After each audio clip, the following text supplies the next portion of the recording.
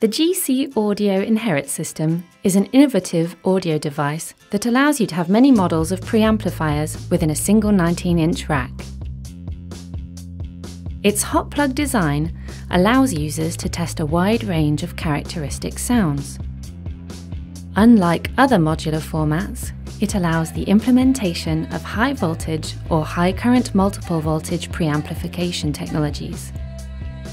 The Inherit system will therefore give you access to complex preamps, such as genuine tube preamplifiers, that are impossible to get on a lunchbox. It also allows you to quickly test various preamplification technologies without patching. The rack's custom power supply has been designed with great care and contains seven unique voltages which are generated by three toroidal wire transformers.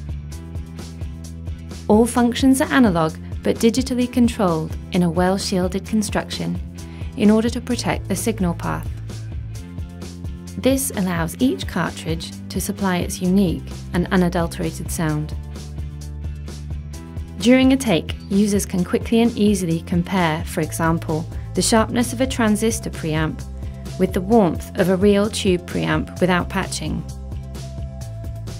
Some cartridges are designed around proven technologies that are part of recording studio standards, and others are designed from new technologies.